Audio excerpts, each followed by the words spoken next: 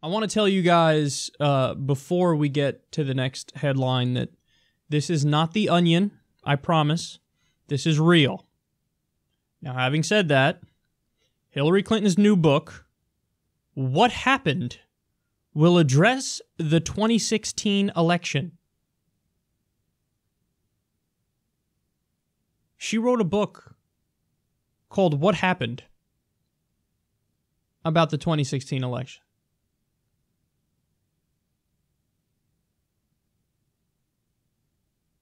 Come on, Hillary. This is so Hillary. This is just so her. As the country's moving a million miles an hour right now, people are worried. Oh, they just slapped new sanctions on Russia and Iran and North Korea, so the Iran deal's getting blown up right in our faces. We have the incredibly down to the wire vote uh, last night about Trump care and the Obamacare repeal, and people are talking about health care and Medicare for all and all these substantive issues, and everything's moving so fast, and everybody's so busy in the political world. And what does Hillary do?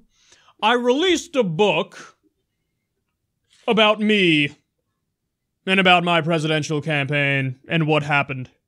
Here, I bequeath this upon everybody here.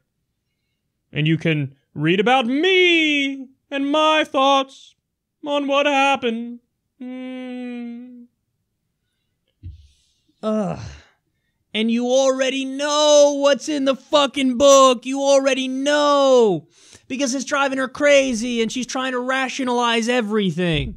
You can't just accept the answer. It's you. It's you. It's you. She's like the needy boyfriend who gets broken up with by the girlfriend, and then the boyfriend keeps going, oh, What did I do wrong? I understand. And she's like, Dude, you're doing it right now.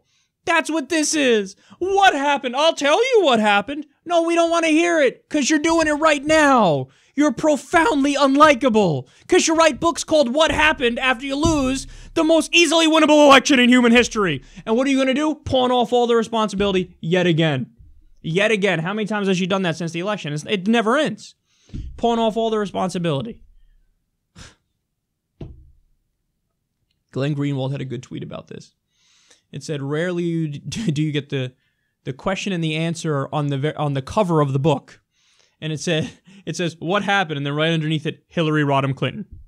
like, yeah, that's right. You happened. You happened. You built that, Hillary. Uh, uh, and we already know. Is it?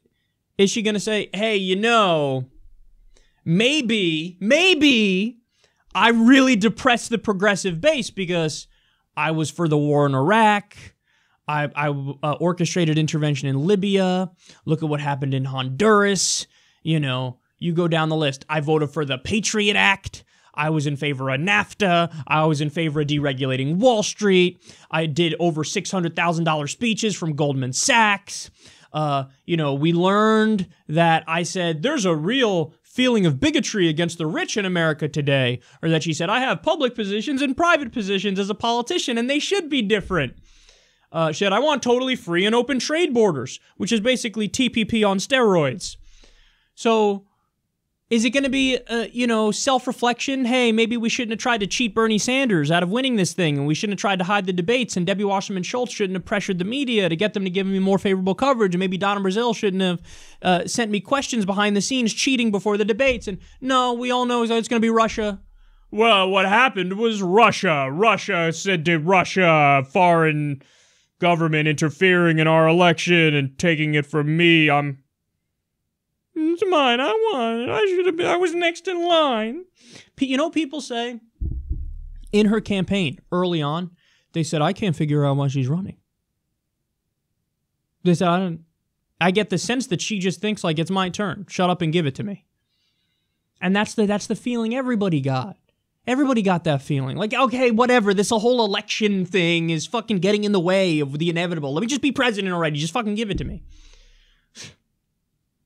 What happened?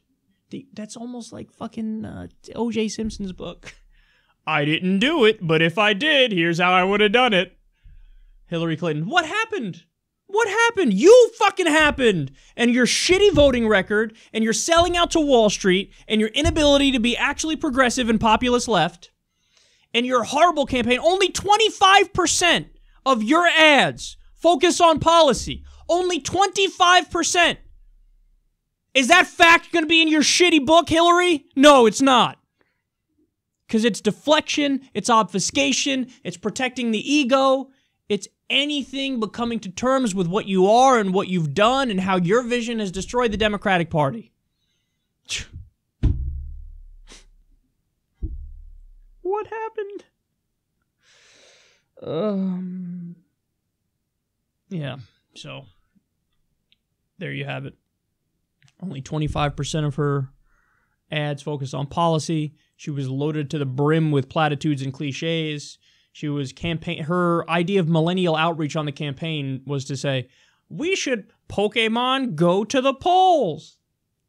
Ah, uh, hey, look, here I am on Ellen dancing with pop stars. See, look, I am dancing. Aren't I so hip and with it? Look, I am in Ohio. Uh, and I am with LeBron James campaigning. Don't you all want to vote for me? He is big in Ohio, right? Turns out all that, all the cliches and the platitudes and the celebrities and the fucking pandering to millennials, none of that uh, wins out over having a solid policy message that would improve people's lives, which you didn't have.